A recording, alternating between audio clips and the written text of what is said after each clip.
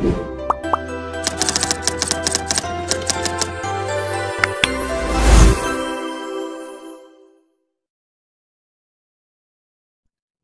alaikum to all of you. I hope you all will be fine. As you know very well that this is called Rida Tashfin. आज हम बहुत ही ज़रूरी topic पढ़ने जा रहे हैं जो हम सब के लिए बहुत ज़्यादा इम्पोर्टेंट है अगर हम कहीं बाहर होते हैं, कोई प्रेजेंटेशन देने लगते हैं, या किसी क्लासरूम में हैं, या कोई न्यू क्लास अटेंड कर रहे हैं, या किसी से हम फ़र्स्ट टाइम मिल के बात कर रहे हैं तो ये टॉपिक वहाँ बहुत काम आता है। The topic name is introduction how can we introduce our self in front of others कि हम अपने आप को कैसे इंट्रोड्यूस करवा सकते हैं लोगों के सामने, या किन्हीं, किसी के भी सामने क्लासमेट्स के सामने टीचर के सामने, किसी भी पर्सनैलिटी के सामने okay in introduction the first question is what's your name आपका नाम क्या है the main and basic question what's your name my name is Rida Tashveen We can also say that this is called Rida Tashfin. This is Rida Tashfin. There are many ways to say about your name. बहुत सारे तरीके के हम अपने आप के, अपना नाम कैसे बता सकते हैं, ठीक है? Second question what's your father name आपके फादर का नाम क्या है? My father's name is my father name is Faisal Aftab मेरे फादर का नाम फैसल आफ्ताब है। The third question how old are you आप कितने साल के हैं? मतलब आपकी उम्र क्या है? एज के रिलेटेड क्वेश्चन है। So we can answer like this. I am 20 years old.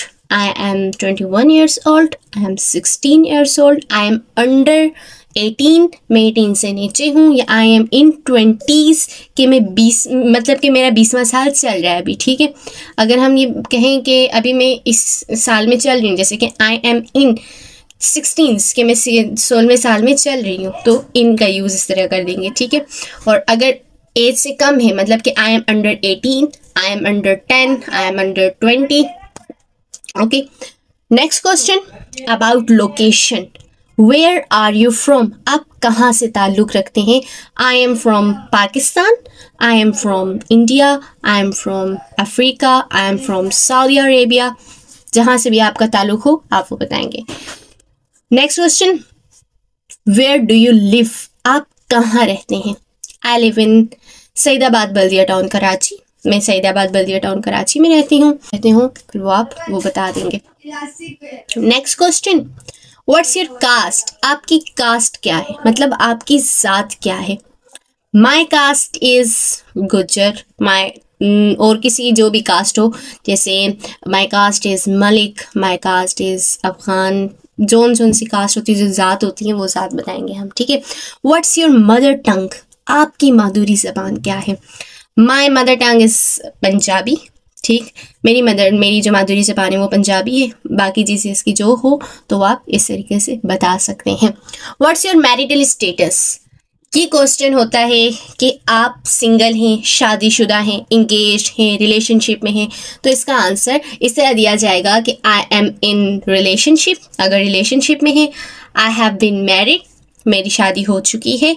Okay I am single मैं सिंगल हूँ, जो भी, ठीक है? Another question how many siblings do you have आपके कितने बहन भाई हैं? आई हैव थ्री सिबलिंग्स मेरे तीन बहन भाई हैं। आई हैव फोर सिबलिंग्स मेरे चार बहन भाई हैं जितने भी हों। अगर आपसे ये पूछा जाए how many brothers you can say that I have two brothers just like I have two brothers मेरे दो भाई हैं। ठीक how many sisters I have three sisters जैसे तीन भाई तीन बहनें हैं या इस तरीके से ठीक है? Question. What's uh, what's your nationality? My nationality that I am Pakistani. मैं पाकिस्तानी हूँ। आप लोग जो भी हों, आप वो बता देंगे। What's your religion my religion is Islam बाकी जिसका जो भी हो माई रिलीजन इज़ जो है हिंदस हिंदू और जिसका जो भी रिलीजन हो, वो उस रिलीजन के बारे में बता देगा। The last question is what do you want to be आप क्या बनना चाहते हैं? I want be the doctor I want be an engineer जो भी बनना चाहते हो I want be an artist कुछ भी जो बनना चाहते हो, आप उस तरीके से आंसर दे सकते हैं। ठीक? There are more many question introduction बहुत सारे क्वेश्चन होते हैं just like what's your favourite hobby what's your favourite colour what's your favourite fruit your dressing style और there are many so just the main question I have told you जो main question है, वो मैं आपको बता चुकी हूँ। ठीक है?